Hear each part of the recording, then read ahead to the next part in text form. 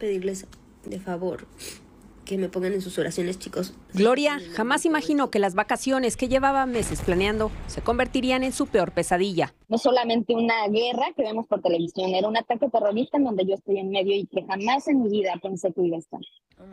La mujer de 38 años, originaria de Guadalajara, Jalisco, acababa de llegar a Tel Aviv cuando el conflicto se desató. Pero en la noche, que ya ubiqué la alarma, empezó a sonar otra vez la alarma.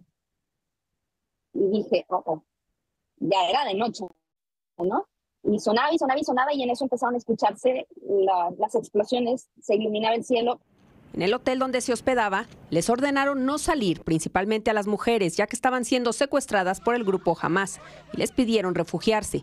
De inmediato se comunicó con su familia para decirles que estaba bien y pedir que rezaran por ella.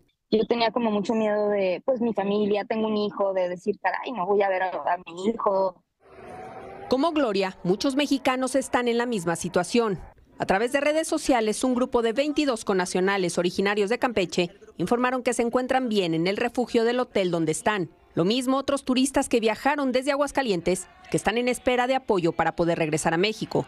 Pero no todos han corrido con la misma suerte. Alicia Bárcena, secretaria de Relaciones Exteriores, informó que hay dos mexicanos presuntamente tomados como rehenes por el grupo yihadista Hamas. Ante esto, la embajadora de Israel en México aseguró que no se puede confirmar aún el número exacto de secuestrados, aunque señaló que está en constante comunicación con las autoridades de ambos países. Pero hay decenas de civiles, niños, niñas, ancianos y ancianas, mujeres, hombres, que eh, fueron sorprendidas en la mañana dentro de sus casas en poblados israelíes cercanos a Gaza y tomados como secuestrados. Por ello, la Cancillería ha ofrecido apoyo a los conacionales que se encuentran en Israel y envió sus condolencias a los familiares de las víctimas. Desde la Ciudad de México, Sandra Argüelles, Univisión.